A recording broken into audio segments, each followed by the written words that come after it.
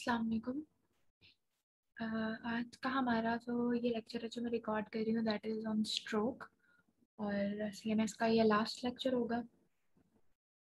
इंशाल्लाह। उसको स्टार्ट करने से पहले uh, हम लोग जो है एक अपर मोटर न्यूरॉन और लोअर मोटर न्यूरॉन का डिफरेंस देखते हैं कि पहले तो अपर मोटर न्यूरॉन और लोअर मोटर न्यूरॉन होता क्या है। ठीक है? उससे भी पहले हम ट्रैक्ट को देख लेते हैं। अच्छा। ये स्क्रीन पर आप सबको शो हो रहा होगा, ये मैं थोड़ा सा बाहर जो है ऊपर कर लूँ। ठीक है ओके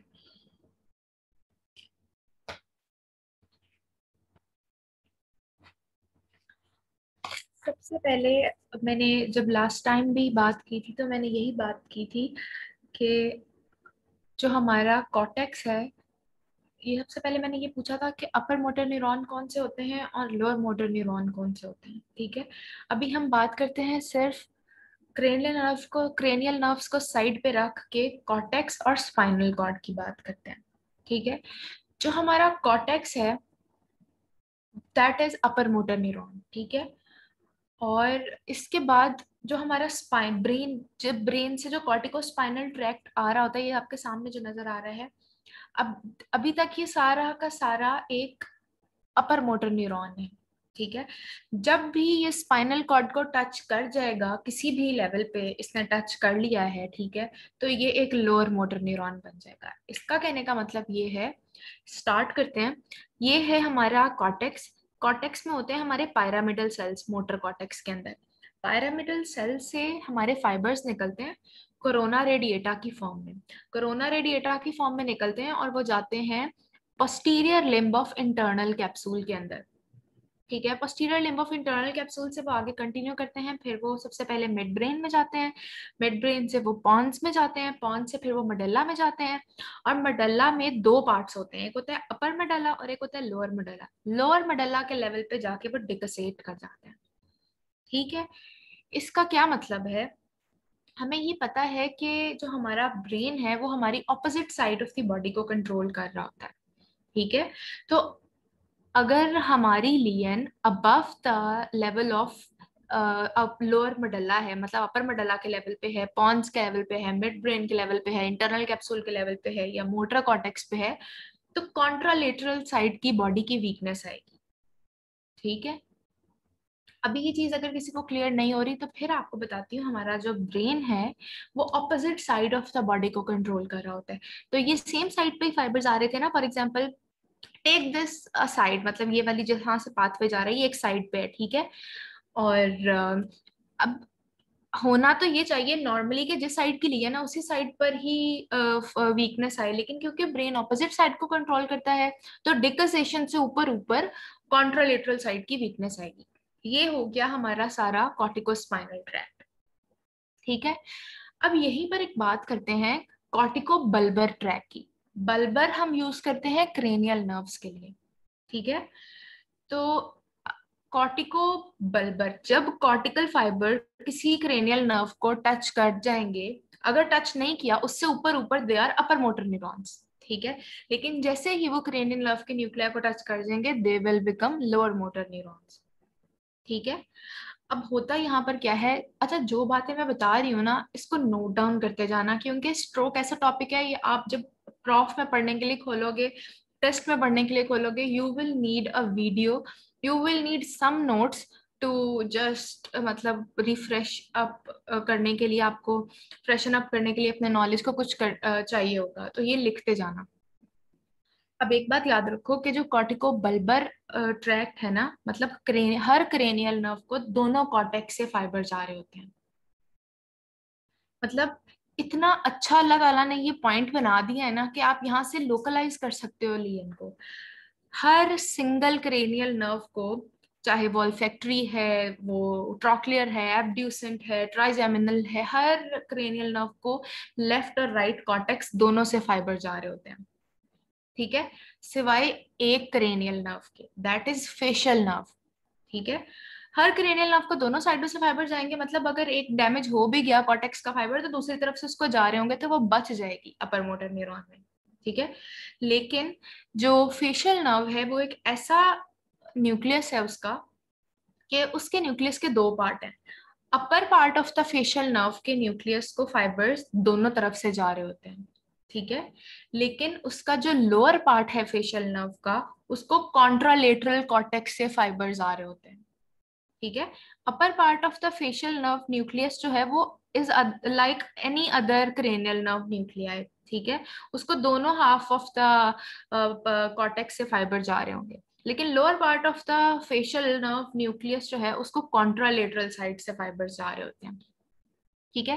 तो ये इस तरह हम बेल्स पालसी को डिफ्रेंशिएट करते हैं। ये ये एक तो कॉर्टिको स्पाइनल ट्रैक्ट हो गया और एक कॉर्टिको बल्बर ट्रैक्ट हो गया। ठीक है? कॉर्टिको बल्बर ट्रैक में बस ये बातें याद रखनी है कि क्रेनियल नर्व को दोनों तरफ़ से फाइबर जा रहे होते हैं, सिवाय एक फेशियल नर्व के lower part of the nucleus को। ठीक है? बस आपने इसमें ये वाली बातें याद रखनी है।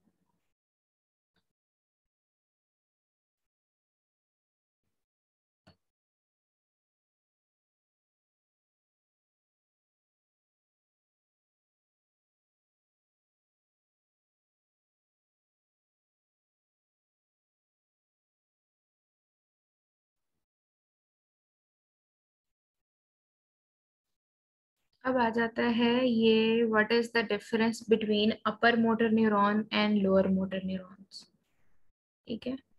यस ओके ये बहुत इंपॉर्टेंट है। अब जो स्पाइनल कॉर्ड है बेसिकली वो हमारी सारी मूवमेंट मसल की कंट्रैक्शन और रिलैक्सेशन को कंट्रोल कर रहा होता है। ठीक है? जो हमारा ब्रेन है, जो हमारा कॉटेक्स है, ठीक है, वो इनहिबिटरी सिग्नल्स भेज रहा होता है।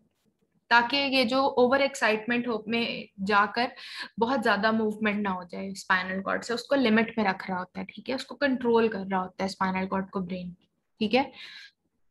तो अब होगा क्या? जब हमारे पास अच्छा दोनों अपर मोटर न्यूरॉन और लोअर मोटर न्यूरॉन की जब भी वीकनेस लियन होगी बॉडी की वीकनेस ही आएगी हमेशा, ठीक है? देर आर अदर साइंस जिसकी बेस पे हमने इनको डिफ्रेंशिएट करना है। वो क्या है?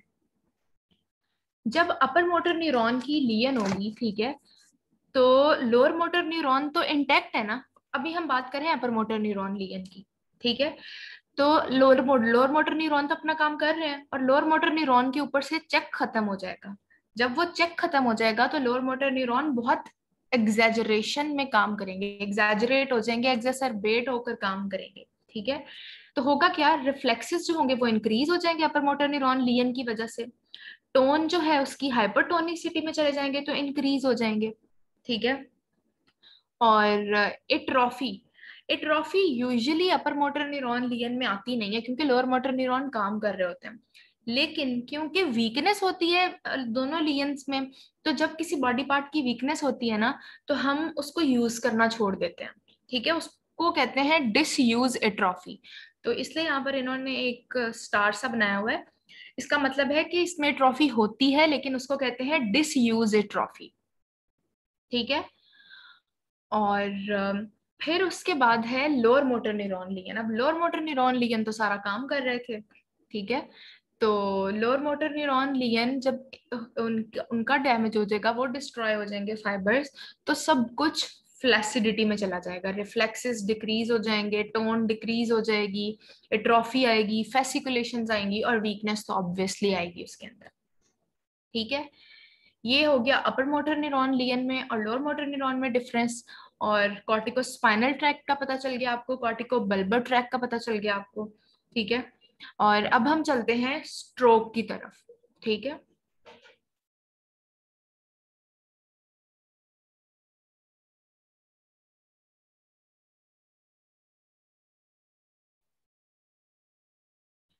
हम चलते हैं डेविडसन के चैप्टर के ऊपर। डेविडसन का पेज नंबर है eleven hundred fifty, page number है ट्वेंटी थर्ड एडिशन का, और उस पर आपका ये मेंशन है स्ट्रोक, ठीक है? अच्छा अब हम इसको करना शुरू करते हैं।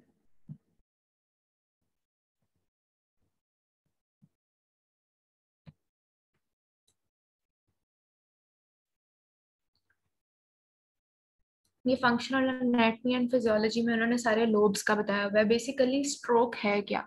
ठीक है? स्ट्रोक है जब भी सेरिब्रल ब्लड फ्लो जो आपको पता है कि middle cerebral artery anterior cerebral cerebral artery और पोस्टीरियर सेरिब्रल आर्टरी इनसे सप्लाई जारी होती है। जब भी उसकी डिस्ट्रक्शन होगी तो ब्रेन सेल्स की डेथ स्टार्ट हो जाती है। ठीक है? Death of brain cells resulting in acute onset of focal neurologic deficits ठीक है? तो किसी भी, जिस भी ब्रेन के पार्ट की ब्लड सप्लाई लॉस होगी, उस ब्रेन के पार्ट का जो है फ़ंक्शन लॉस होना शुरू हो जाएगा। उसको कहते हैं स्ट्रोक अब स्ट्रोक जो है, यहाँ पर ये जो बना हुआ है, एक फिगर बनी हुई है figure number 26.1 a classification of stroke this is very important ये एमसीक्यू पॉइंट ऑफ़ व्यू से बहुत इंपॉर्टेंट है। वो कहते हैं कि स्ट्रोक दो तरह का होता है आर्टीरियल और वेनस जो आर्टीरियल है, वो 99 परसेंट से ज़्यादा होता है, ठीक है? मतलब 99 परसेंट टाइम्स जो है वो आर्टिक्रियल स्ट्रोक होगा। आगे उसको हमने इनफाक्ट में डिवाइड किया हुआ है और हेमरेज में डिवाइड किया हुआ है।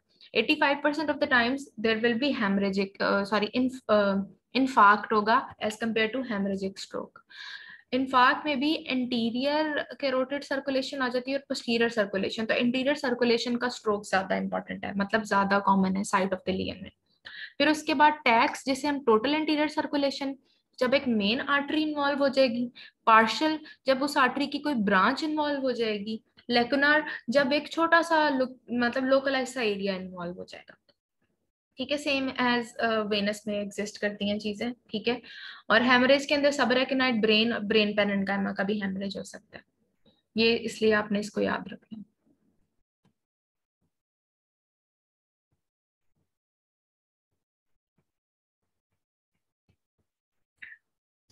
अब आपको ना मैं कुछ बातें बताऊँगी जो कि बहुत इंपॉर्टेंट है आपकी आ, आपने जब जो है वो करना है इसको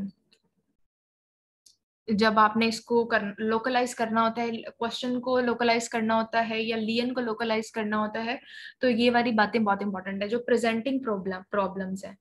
मतलब ये कि एक स्ट्रोक का पेशेंट आपके पास किस तरह से प्रेजेंट करेगा ठीक है? पहली बात तो हमने कर ली वीकनेस बॉडी की वीकनेस के साथ तो उसने प्रेजेंट करना ही करना है। वो अपर लिम की वीकनेस भी हो सकती है, वो लोअर लिम की वीकनेस भी हो सकती है। लेकिन यूजुअली क्योंकि हमारे ब्रेन का एक पार्ट अगर इन्वॉल्व होगा तो वो कॉन्ट्रोलेटरल साइड को सप्लाई कर रहा होता है। तो हाफ़ साइडेड बॉडी की वीकनेस के साथ जो है वो बंदा प्रेजेंट करता है। तो unilateral weakness is the classical presentation of stroke ठीक है? कोई भी आपके पास patient unilateral sudden unilateral weakness के साथ आगे है तो आपने सबसे ऊपर अपने डिफरेंशियल में स्ट्रोक रखना है, ठीक है?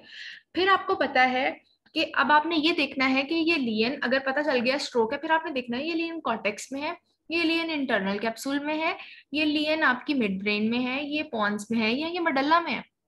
ये कैसे पता चलेगा? अब ये आपने मेरी बात सुननी है कैसे?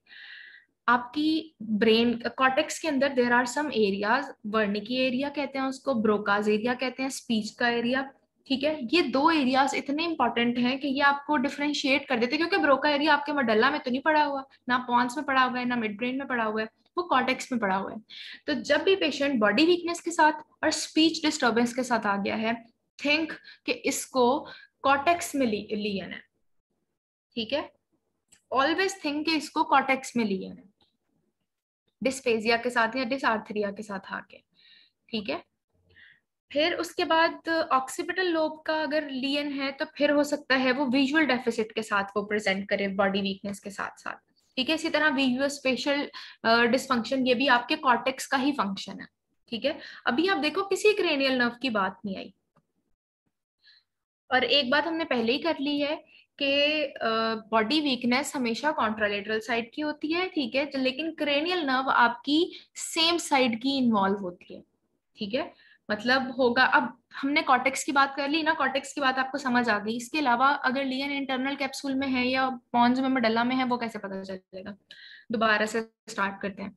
अगर लियन कॉटेक्स में है तो कैसे पता चलेगा कि स्पीच का एरिया डैमेज होगा या विजुअल एरिया डैमेज होगा? और कोई मसला नहीं होगा उसको। ठीक है? और हो सकता है उसको अपर मोटर न्यूरॉन की फेशियल वीकनेस हो। अपर मोटर न्यूरॉन की अगर फेशियल वीकनेस होगी तो हमारी बॉडी का ऊपर वाला हिस्सा ठीक रहेगा, क्योंकि ऊपर वाले फेशियल नर्व न्यूक्लियस को दोनों साइड्स ऑफ़ कॉटेक्स से फाइबर आ रहे थे, लेकिन नीचे वाले हिस्से को कॉन्ट्रालेटरल साइड से फाइबर्स आ रहे होते हैं। इसलिए कॉन्ट्रालेटरल साइड की वीकनेस होगी।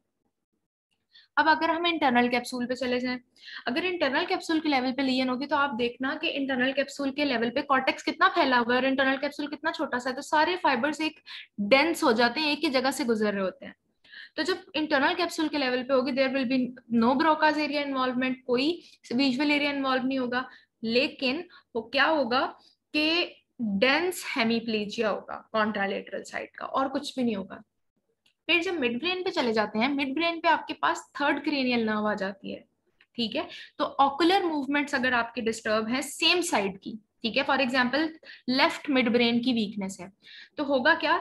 लेफ़्ट साइडेड आई की वीकनेस होगी और कॉन्ट्रालेटरल साइड की बॉडी की वीकनेस होगी, क्योंकि कॉर्टिकोस्पाइनल ट्रैक मिड ब्रेन में से भी तो गुजर रहा है ना, और हमने बात की थी अपर मडला से ऊपर ऊपर लोअर मडला से ऊपर ऊपर तक कॉन्ट्रालेटरल साइड की बॉडी की वीकनेस आती है और क्रेनियल नर्व सेम साइड की इन्वॉल्व होती है। ठीक है? तो इसका क्या मतलब है कि कॉन्ट्रोलेटरल बॉडी की वीकनेस और सेम साइड की फेशियल नर्व की थर्ड क्रेनियल नर्व की वीकनेस इसे कहते हैं क्रॉस्ड हेमीप्लीजिया तो ब्रेन स्टेम में जब भी लियन होगी तो क्रेनियल नर्व तो सेम साइड की होगी और बॉडी वीकनेस दूसरी साइड की होगी तो एक क्रॉस बन रहा होगा मतलब ऑपोजिट साइड पे लियंस आ रही होंगी तो इसे कहते हैं क्रॉस्ड हेमीप्लीजिया फिर उसके बाद पॉन्स में चले जाएँ तो पॉन्स में हमारे पास फाइव सिक्स और सेवन नर्व पड़ी होती है, ठीक है? तो उसके साथ साथ अगर आपको फाइव और सिक्स सेवन नर्व की कोई लीन मिल रही है सेम साइड की वीकनेस है मतलब आई की कोई एबड्यूसर नर्व लेटरल रेक्टस का मसला है या lower motor neuron facial nerve का प्रॉब्लम है सेम साइड पे तो ऑपोजिट साइड की बॉडी वीकनेस है तो ये पॉन्स में लियन है। मडला में nine ten eleven twelve cranial nerves आ जाती हैं, इससे आप लोकलाइज कर सकते हो। ठीक है? लेकिन आपने ये देखना है कि जब seventh cranial nerve nucleus involve होगा तो there will be lower motor neuron weakness और वो क्या होती है? वो सेम साइड का पूरा का पूरा आधा फेस इप्सिलेटरल साइड पे वीक हो जाता है। लेकिन जब अपर मोटर न्यूरॉन जो कि कॉटेक्स में इन्वॉल्व हो सकता है, क्योंकि हमने पढ़ा है कि एक फेशियल नर्व ही ऐसा न्यूक्लियस है जिसको ऑपोजिट साइड से फाइबर्स जा रहे होते हैं। तो वो कॉन्ट्रालेटरल साइड का lower part of the face involve होगा जब कॉटेक्स में होगा। ठीक है? इस तरह से आपने डिफ्रेंशिएट करना है लियंस को। अब स्ट्रोक के रिस्क फैक्टर्स क्या हो सकते हैं? ठीक है? Risk factors they are modifiable risk factors और नॉन मॉडिफाइबल रिस्क फैक्टर्स ये ना एमसीक्यू में पूछा जाता है। ठीक है? फिक्स्ड रिस्क फैक्टर्स में ऑब्वियसली एज आ जाती है जेंडर आ जाता है फैमिली हिस्ट्री आ जाता है, जो आप उसको चेंज नहीं कर सकते हो। मॉडिफाइबल में आप अगर पेशेंट हाइपरटेंसिव है पेशेंट को लिपिड प्रोफ़ाइल डैमेज है पेशेंट का डिस्टर्ब्ड है पेशेंट डायबिटिक है और पेशेंट को हार्ट डिज़ीज़ है तो that are modifiable risk factors ये सारी चीज़ें जो है वो स्ट्रोक को कंट्रीब्यूट करती हैं। अच्छा पैथोफिजियोलॉजी में हमने कहा कि दो तरह दो हमने पढ़ना है दो तरह की पैथोफिजियोलॉजी हो सकती है। एक इन्फाक्शन डिटेल में जाने की ज़रूरत नहीं है, ठीक है? और दूसरी है हेमरेज उसका। ठीक है? हेमरेज ये आपके ऑस्पी में आते हैं, ठीक है? अब हेमरेज जो है ना, इन, इनमें आपने फ़र्क ये याद रखना है इन्फाक्शन में और हेमरेज के अंदर। इन्फाक्शन जो है, वो है स्कीमिया वो आहिस्ता आहिस्ता आहिस्ता आहिस्ता आहिस्ता आहिस्ता डेवलप कर रहा है। ठीक है, उसको वीक्स लग सकते हैं, उसको डेज़ लग सकते हैं। हेमरेज क्या है? With suddenly within hours patient present करता है आपके पास। ऑब्वियसली कोई वेसल रप्चर हुई है तो वो सडनली प्रेजेंट करेगा आपके पास। ठीक है? जो इन्फाक्शन है ना वो आपको ब्लैक नज़र आता है सीटी स्कैन पर या एमआरआई पे, ठीक है?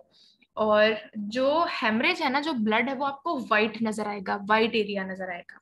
ठीक है? ये मैं आपके ग्रुप में भी आपको सीटी स्कैन भेज दूँगी।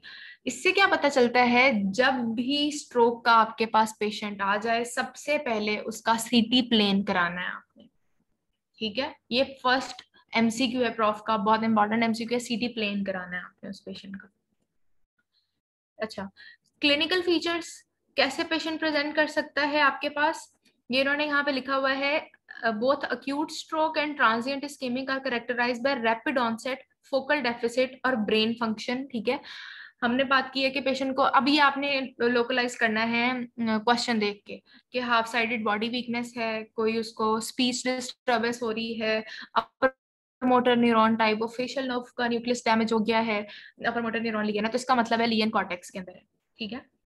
ये है क्लिनिकल फीचर्स में, बस आपको यही बताएँगे।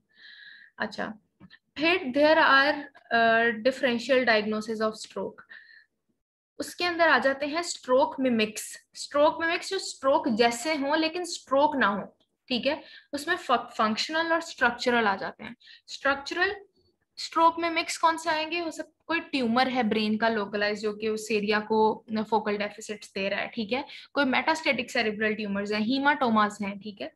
फंक्शनल के अंदर हाइपोग्लाइसीमिया उसमें भी पेशेंट बॉडी वीकनेस के साथ प्रेजेंट करता है। एपिलेप्टिक सीजर्स के बाद जो पेशेंट टॉर्ड्स पैरालिसिस में चले जाते हैं, वो भी वीकनेस के साथ प्रेजेंट करते हैं। एनकेफ्लाइटिस का पेशेंट मेनिंजाइटिस का पेशेंट ये सारी जो हैं, ये स्ट्रोक में मिक्स है। लेकिन 26.4 में इन्होंने डिफरेंसेस बता दिए हैं कि स्ट्रोक में मिक्स में डिफरेंसेस क्या आते हैं। स्ट्रोक जो है सडन ऑनसेट होता है। स्ट्रोक में मिक्स का स्लोअर ऑनसेट होता है। ठीक है सिम्टम प्रोग्रेशन जो होती है रैपिडली होती है स्ट्रोक की उसकी ग्रेजुअल ऑनसेट होता है। स्वेरिटी जो होती है अनसर्टन uh, होती है स्ट्रोक में मिक्स की मतलब uh, बहुत पता नहीं होता कि कभी बहुत ज़्यादा होती है कभी कम होती है। और पैटर्न और डेफिसिट जो है there will be hemispheric pattern almost always half sided body की वीकनेस होती है एक साइड की ठीक है? और लॉस ऑफ़ कॉन्शियसनेस नहीं होती स्ट्रोक के अंदर इतनी ज़्यादा ठीक है? स्ट्रोक में मिक्स के अंदर हो सकती है। अच्छा this is CT scan showing intra cerebral haemorrhage मैंने आपको बताया था ना, ये देखो, ये वाला जो एरिया है वाइट का, इसमें भी नज़र आ रहा है बी में भी, इसमें भी ये यहाँ पर नज़र आ रहा है हमारे बेजल गैंगलिया के अंदर, एक ए के अंदर। ये भी वाइट एरिया है, ये हेमरेज है। हेमरेज हमेशा वाइट नज़र आता है। ठीक है? अच्छा फिर देर आर सेवरल टर्म्स जो कि इंपॉर्टेंट है, उसके अंदर आता है transient ischaemic attack transient ischaemic attack का मतलब है कि पेशेंट को बॉडी वीकनेस हुई, लेकिन वो आफ्टर 24 विद इन 24 आवर्स जो है वो रिलीव हो गई। ठीक है? बिल्कुल ठीक हो गया। इसे कहते हैं T I A transient ischaemic attacks फिर उसके बाद है स्ट्रोक अगर स्ट्रोक उसको कहते हैं जो मोर देन 24 आवर्स जो है रहे। ठीक है? प्रोग्रेसिंग स्ट्रोक किसको कहते हैं? जिसमें आहिस्ता आहिस्ता डेफिसिट जो है ना फोकल न्यूरोलॉजिक डेफिसिट वो बढ़ता जाए। वर्सन होता जाए। कंप्लीटेड स्ट्रोक कहते हैं, जिसमें प्रोग्रेस नहीं करते, उसमें ऑलरेडी कंप्लीट हो गई होती है सारी की सारी वीकनेस फिर उसके बाद आते हैं ये क्लिनिकल सिंड्रोम्स के ऊपर, इसमें टैक्स लैक्स और पैक्स के बारे में बताया हुआ है। टैक्स कहते हैं टोटल इंटीरियर सर्कुलेशन सिंड्रोम को, ठीक है? टोटल इंटीरियर सर्कुलेशन सिंड्रोम कहते हैं, या तो कोई मेन आर्टरी मेजरली इन्वॉल्व हो जाए मिडल सेरिब्रल आर्टरी इन्वॉल्व हो जाए, या फिर इंटीरियर सेरिब्रल आर्टरी इन्वॉल्व हो जाए। अब ये याद रखो कि जो हमारा लेग का एरिया ना, आपको पता ना, ब्रेन पे मोटर हमनकुलस बना होता है। लेग का एरिया मीडियली आ रहा होता है और हमारा फेस आर्म का एरिया जो है वो लेटरली आ रहा होता है। जो लेटरल एरिया है, उसको मिडल सेरिब्रल आर्टरी सप्लाई करती है और जो मीडियल एरिया है, उस, जो लेग एरिया है, उसको इंटीरियर सेरिब्रल आर्टरी सप्लाई करती है। तो टैक्स में हमारे पास मिडल सेरिब्रल आर्टरी की क्लूजन होती है। पैक्स में उसकी ब्रांच की क्लूजन होती है। ठीक है? मिडल सेरिब्रल आर्टरी या इंटीरियर सेरिब्रल आर्टरी की। लेकुनार में कहीं लोकलाइज थ्रोम्बस बन सकता है। ये देखो लोकल सा बना हुआ है ना, गोल सा, इसको कहते हैं। अच्छा फिर आती है हमारे पास इन्वेस्टिगेशंस की कंप्लीट लिस्ट आ जाती है। सबसे पहले हमने न्यूरो इमेजिंग में जाना है। न्यूरो इमेजिंग में इन्वेस्टिगेशन में सबसे पहले हमने सीटी स्कैन कराना है। ठीक है? ये है प्रॉफ का एमसीक्यू है। इन्वेस्टिगेशन ऑफ़ चॉइस है। प्लेन सीटी कराना है, ठीक है? प्लेन सीटी में आपको पता चल जाएगा कि ये इन्फाक्शन है हेमरेज है या क्या है, ठीक है? सीटी स्कैन कराने के बाद ये टेबल इन पे वापस हम आते हैं, ठीक है? फिर उसके बाद ये कुछ इंडिकेशंस भी बताई हुई हैं, उन्होंने 26.7 में ये आपने याद कर लेनी है, ठीक है?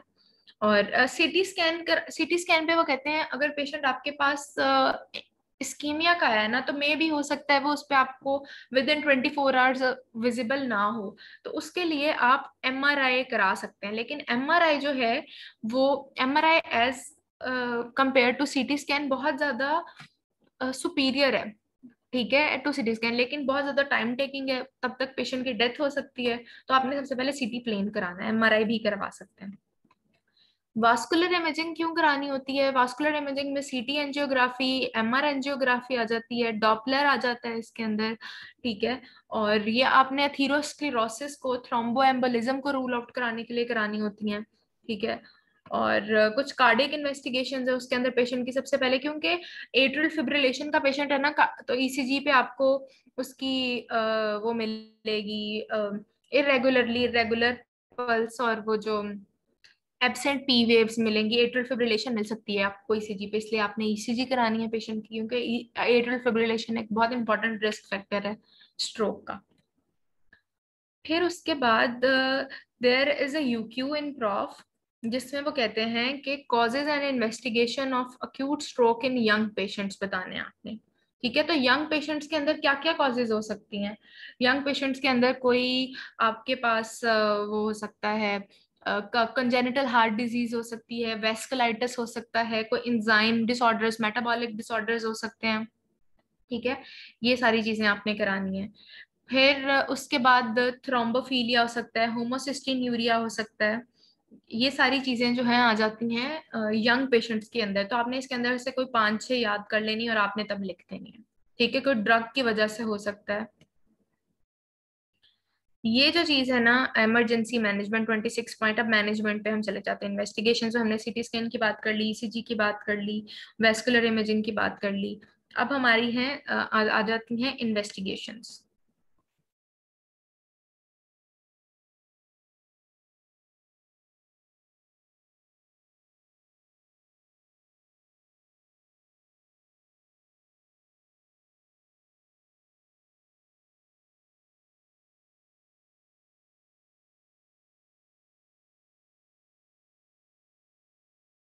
ओके.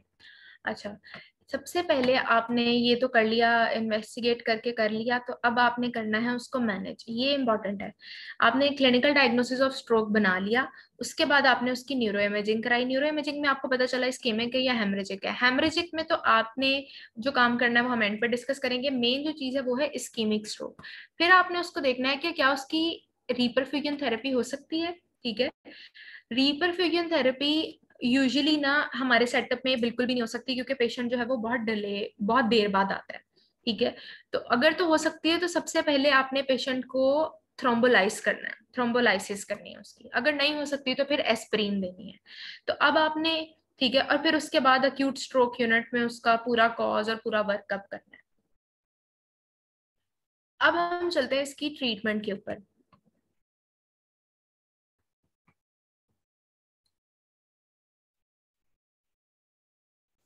ये है हमारी रिपरफ्यूजन थेरेपी रिपरफ्यूजन थेरेपी का स्कीमिक स्ट्रोक के अंदर बहुत ज़्यादा रोल है। रिपरफ्यूजन थेरेपी में हमारे पास थ्रोम्बोलिटिक्स आ जाते हैं थ्रोम्बोलाइसिस जो करते हैं, उसके अंदर हमारे पास स्ट्रेप्टोकाइनेज एल्टी प्लेस प्लेस ये सारे ड्रग्स आ जाते हैं। ठीक है? But there are certain contra indications तो अगर तो पेशेंट ऑलरेडी ब्लीडिंग रिस्क है उसको, ठीक है, और हेमरेज हुआ है या एंटीकोगुलेंट थेरेपी पे है तो फिर हम उसको थ्रोम्बोलाइसिस नहीं कर सकते। फिर हमने उसको हमेशा एस्प्रीन ही देनी है। लेकिन अगर आपके पास patient four within four point five hours of symptom आ गया है तो आपने सबसे पहले थ्रोम्बोलाइज करना है। अगर पेशेंट 4.5 आवर्स के बाद आया है तो फिर आपने पेशेंट को एस्प्रीन देनी है in the absence of contraindications ठीक है, फिर एस्प्रिन दे दी। बस आपने ये दो मेन चीज़ें याद रखनी है कि एस्प्रिन 4.5 आवर्स के बाद देनी है विद इन 4.5 आवर्स आपने थ्रोम्बोलाइज करना है। हेपरिन का इतना ज़्यादा रोल रहा नहीं है तो एंटीकोगुलेशन हेपरिन आपने पास्ट में की जाती थी, लेकिन अब आपने उन पेशेंट्स को देनी है जो एट्रल फिब्रिलेशन के पेशेंट्स हैं। ठीक है? आपने उन पेशेंट्स को ये देनी है। फिर उसके बाद आपने पेशेंट की रिस्क फैक्टर्स की मैनेजमेंट स्टार्ट कर देनी है। रिस्क फैक्टर्स की मैनेजमेंट में पेशेंट का हाइपरटेंशन कंट्रोल करना है पेशेंट का लिपिड प्रोफ़ाइल कंट्रोल करना है पेशेंट का डायबिटीज़ कंट्रोल करना है। ठीक है? ये सारी चीज़ें आपने उसके अंदर कंट्रोल करनी है। और बल्कि मैं ये सारी चीज़ें आपको आ, बता भी देती हूँ इसके अंदर यहाँ पर लिखा होगा यस सेकेंडरी प्रिवेंशन अगर गुड है तो फिर उसके बाद आप पेशेंट का स्ट्रोक जो है वो अवॉइड कर सकते हो, ठीक है? फिर जिस तरह आप पेशेंट आर्ट्रियल फिब्रिलेशन पे हैं तो आपने उसको वारफरिन के ऊपर लगा देना है, ठीक है? ताकि आप उसका ओरल कोगुलेशन स्टार्ट कर देनी है पेशेंट को और वॉरफरिन पे लगा देना है। पेशेंट का ब्लड प्रेशर नॉर्मल करना है, ठीक है? और पेशेंट का बीपी जो है लिपिड प्रोफ़ाइल है, उसको नॉर्मल करना है। ये सारी चीज़ें सेकेंडरी में आ जाती हैं। फिर कुछ लोगों को जो स्ट्रोक हुआ होता है वो अथीरोस्क्लेरोसिस की वजह से या कैरोटिड आर्टरी की आ, आ, मतलब कैरोटिड आर्टरी का डॉक्टर कराते हैं उसमें कोई आपको स्कीमिया मिलता है या उसमें कोई नॉर्मेलिटी मिलती है तो उसके लिए आप कैरोटिड एंडार्टेक्टमी कराते हो या एनजियोप्लास्टी कराते हैं। ठीक है जहाँ से स्टेनोसिस हुआ होता है उस पार्ट को कट करते हो और बाकी रिमेनिंग पार्ट को स्टेंड डाल के जो तो है वो ज्वाइन कर देते हैं। ठीक है? फिर उसके बाद कहते हैं कि there are certain unusual causes ये इतनी इंपॉर्टेंट नहीं है, बस आपने इतना याद रखना है।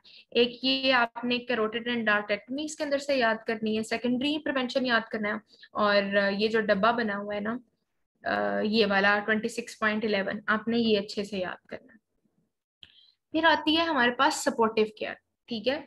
सपोर्टिव केयर क्या होती है कि जो स्ट्रोक का पेशेंट है ना, वो इन सारी कॉम्प्लिकेशंस के साथ प्रेजेंट कर सकता है। एपिलेप्सी के साथ प्रेजेंट करेगा तो पेशेंट को एंटी कन्वल्सेंट्स देने हैं। डिप्रेशन एंग्जाइटी में जा सकता है पेशेंट एंटी डिप्रेसेंट्स देने हैं। इन्फेक्शन का बहुत ज़्यादा चांस होता है क्योंकि पेशेंट बेड रेस्ट पे चला जाता है। यूरिनरी इन्फेक्शन क्योंकि कैथीटराइजेशन की होती है तो एंटीबायोटिक्स प्रेशर सोर्स तो पेशेंट को after every two hours nursing care देनी है। डीप वेनस थ्रोम्बोसिस का चांस बहुत बढ़ जाता है तो पेशेंट को एंटीकोगुलेशन जो है वो स्टार्ट करनी है। ठीक है?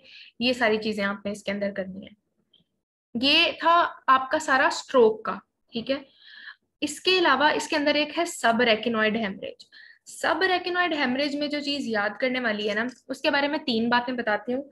सब रेकिनॉइड हेमरेज भी सडनली प्रेजेंट करता है। सब रेकिनॉइड हेमरेज जो है, जो पाया और रेकिनॉइड जो स्पेस है, उसके अंदर हेमरेज होता है। ठीक है? तो मनिंजीज को इरिटेट करता है तो मनिंजिज्म के साइंस मनिंजाइटिस के साइंस भी इसके अंदर आ रहे होते हैं, वो नेक स्टिफनेस हेडेक वगैरह वाले फीवर वाले, ठीक है? लेकिन ये हेमरेज होता किस वजह से है? हाई बीपी की वजह से। तो पेशेंट आपके पास साइंस ऑफ़ मेनिंजाइटिस के साथ with raised blood pressure over 180 eighty by hundred के साथ प्रेजेंट करता है और sudden thunder clap headache of मतलब लाइफ के साथ। Sudden severe headache the most severe headache of life कहीं पर भी आ गया ना तो दैट इज़ सब रेकनाइड हेमरेज ठीक है? इसमें उन्होंने बताया हुआ है कि सब रेकनाइड हेमरेज जो सर्कल ऑफ़ विलस है, उसको इन्वॉल्व करता है द मोस्ट कॉमन साइट्स हैं एंटीरियर कम्युनिकेटिंग आर्टरी और पोस्टीरियर कम्युनिकेटिंग आर्टरी इसके अलावा मिडिल सेरिब्रल आर्टरी इनकी आपने जो है वो याद करनी है। कॉजेस क्या हो सकते हैं? अगर तो पेशेंट को सेकुलर एनरिज्म्स है पोलिसिस्टिक किडनी है कोई congenital connective tissue Danlos syndrome है मार्फन सिंड्रोम है इसकी वजह से सब रेकिनॉइड हेमरेज हो सकता है। ठीक है? और क्लिनिकल um, फीचर्स क्या आएँगे? Sudden severe thunder clap headache के साथ पेशेंट प्रेजेंट करता है रेज्ड ब्लड प्रेशर होता है नेक स्टिफनेस और पेन हो सकती है। ठीक है? जो मैंने अभी आपको साइंस बता दी है इसके साथ पेशेंट ने प्रेजेंट करना है।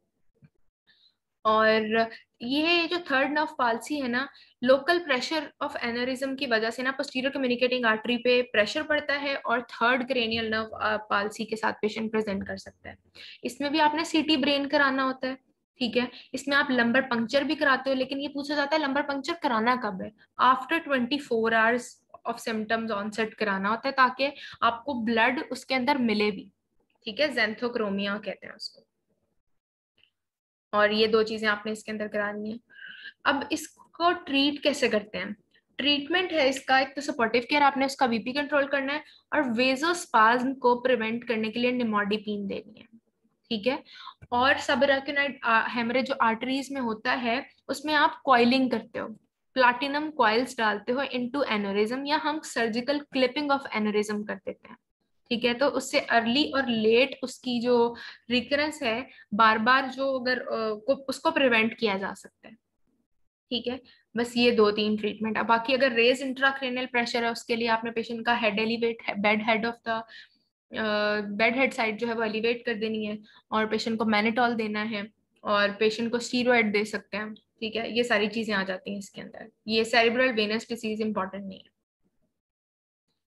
ये सारी डिटेल में उन्होंने ना सेरिब्रल जो स्ट्रोक है ना, उसकी सेकेंडरी प्रिवेंशन बताई हुई है। इसको भी एक दफ़ा हम लोग देख लेते हैं। उन्होंने कहा है स्कीमिक स्ट्रोक है हमने ईसीजी e कराई साइनस रिदम है, ठीक है नॉर्मल है। अगर एट्रियल फिब्रिलेशन है तो हमने रूल आउट करना है थायराइड फ़ंक्शन टेस्ट करा के और ईसीजी e को रूल आउट करना है। और फिर हमने, अगर वो कॉज है तो फिर हमने उसको ट्रीट करना है कार्डियोवर्जन एंटी रिदमिक्स देने अगर साइनस रिदम है तो एंटी प्लेटलेट ड्रग स्टार्ट करा देने उसको। ठीक है? तो करोटेड कराना है करोटेड में स्टिनोसिस हुआ हुआ है तो करोटेड एंडार्टरेक्टमी करा देनी है और पेशेंट को एंटीकोगुलेशन लाइफस्टाइल मॉडिफिकेशन करानी है। अब ये सारा था स्कीमिक स्ट्रोक का, ठीक है? लेकिन अगर हेमरेज आ गया है पेशेंट का presentation within two hours की है, ठीक है? यहाँ क्वेश्चन में उन्होंने आपको बता दिया कि हेमरेज हुआ है पेशेंट को, ठीक है? या सीटी पे आपको व्हाइट एरिया मिल रहा है ब्राइट एरिया मिल रहा है तो उसका बस ट्रीटमेंट है बीपी को लोअर करना। ठीक है? और उसका कोई ट्रीटमेंट नहीं है। आप उसमें स्कीमिया वाला ट्रीटमेंट नहीं देते उसके हेमरेजिक स्ट्रोक के अंदर। अगर आप स्कीमिया वाला ट्रीटमेंट दोगे तो वो हेमरेज के रिस्क को और इंक्रीज कर देगा और बाकी फिर लाइफस्टाइल मॉडिफिकेशन आ जाती हैं इसके अंदर। ठीक है? ये था सारा आपका स्ट्रोक का और इसके अलावा अगर आपको इसमें से कोई चीज़ पॉइंट ना समझ आए, वो आप लोगों ने मेरे से पूछ लेना, मैं आपको बता दूँगी और ये आपको आज इंशाल्लाह मैं ग्रुप में भी भेज दूँगी।